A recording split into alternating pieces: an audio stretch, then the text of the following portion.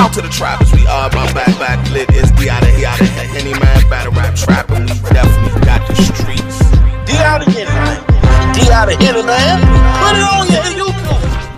out to the trappers. We are back. It's the out of Man battle rap trap, and we definitely got the streets. All right, so we all know disaster and Eazy to block captain went down the other day. Great battle. For fear of my life for the E Hive in the comments, I'm gonna just say Eazy one clear five to zero and all that. Disaster was trash. Now let's get to these payments. You know what I'm saying? Eazy to block captain took to IG and says Oakland was a great crowd. Appreciate y'all for having me. I know my haters wanted me to fail so bad, but y'all got to try harder. I'm very special with this battle rap September 6th, the gloves off though. See y'all very soon. Hashtag the algorithm, hashtag Himothy. Now, during the battle, yo, when Eazy was comfortable, I did hear him say, man, I could have been doing this. I could have been doing this. I think he talking about the more punchy style and all that, but I want to know what he mean by the gloves are off. I did see him and Geechi have a little back and forth, you know what I'm saying? On Twitter, Geechi puts 916 hashtag surprise party. And he put a picture of the ball head Geechi on there, so maybe he gonna pop out with the Caesar or something. Maybe that's what the surprise surprise is the easy one feeling it. He says, We love surprises here, champ. Geechi responds and says, Who is we?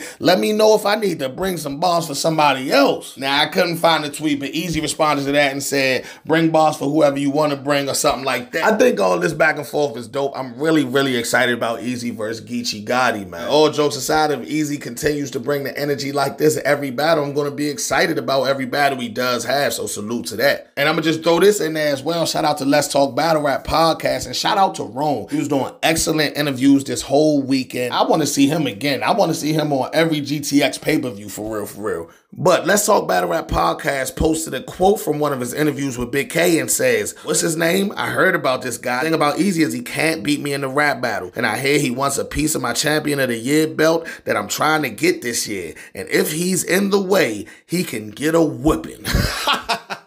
a whipping. Nah, but shout out to Big K, man, because I'm gonna keep it real. When everybody was saying he was one of the front runners for champion of the year, I was loud about saying I don't even think Big K care about that type of stuff. But in this interview, he made it clear he does know what's up and he is paying attention. You know what I'm saying? So what's up? Before the end of the year, we might just get Eazy versus Big K somewhere to decide that number one contender or that number one spot. You know what I'm saying? It depends on what they do with the rest of the year, though, outside of that battle. You know what I mean? I'm excited. I know y'all excited, man. Let me know what y'all think about all this in the comments. It's Battle Rap Trap. Hey, make sure y'all be liking. Y'all be tripping. You like 10,000 views and like 15 likes, man. Do better, man. It's Battle Rap Trap. We got the streets. Shout out to the trappers, we are my back, back lit. It's D out of here, out of here. Henny man, battle rap trapping. We definitely got the streets. D out of here. D out of here, man.